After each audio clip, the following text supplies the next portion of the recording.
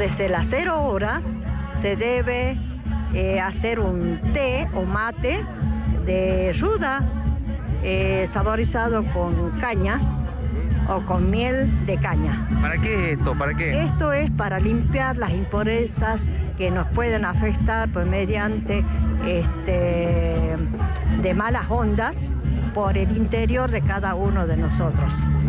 Y luego, al amanecer, se debe prender fuego, hacer unas brasas y saumeriar especialmente primero de las personas de los del centro, o digamos, de los que habitan en domicilio, toda familia, y después eh, todas las viviendas, lugares por donde uno anda, toda la casa.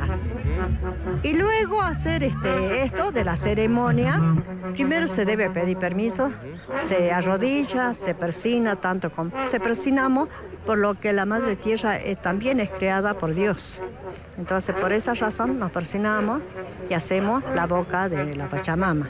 ¿Qué se arroja o qué se coloca? De primer, en primer momento se le arroja un poquito de hojas de coca y después se le pone ya el recipiente hecho saumerio con brasas y colocarle este, chullos, incienso, mirra, lo que quiera, como para ahuyentar las malas ondas, los malos aires del,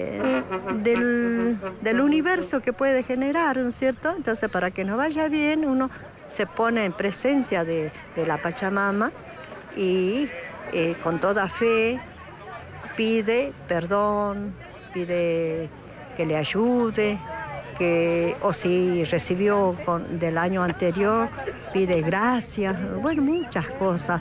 Y también pide por la familia, por los compañeros, por el trabajo, por todo lo que puede ser. Y, y eso, ese pedimiento va en devolución de darle de comer a la Pachamama.